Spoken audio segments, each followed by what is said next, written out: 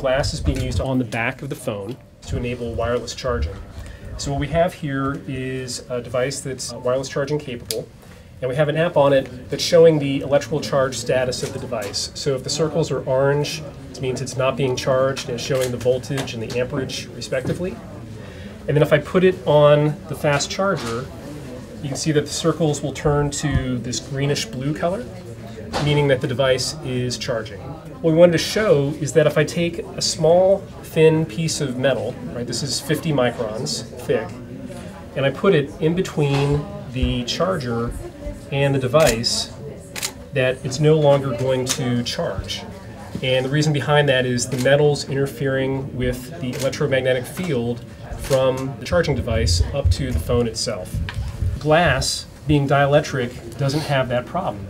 And if I put a piece of glass in between the device and the phone, it's going to go back to charging again.